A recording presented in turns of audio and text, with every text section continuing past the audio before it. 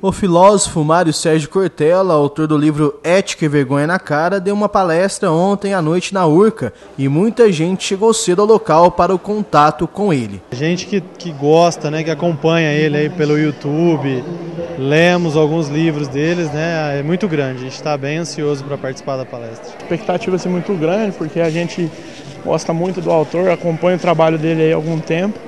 Agora junto nessa parceria com o Clóvis, a expectativa é grande. Antes de subir ao palco, Cortella falou conosco sobre o tema do seu livro, que também teve como autor Clóvis de Barros Filho.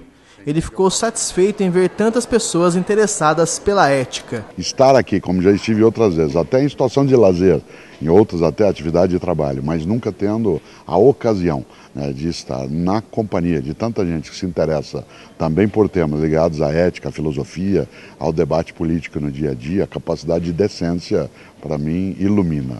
Corrupção é uma palavra que está na boca do povo. Isso porque diversos escândalos são divulgados na grande mídia, nas capitais e também em Brasília. Mas será que corrupção é uma coisa que acontece somente nos dias de hoje? Não, sempre aconteceu. Desde muitos anos, desde a época de Cristo. Vem desde que o Brasil foi invadido. A novidade hoje não é a corrupção, é a apuração.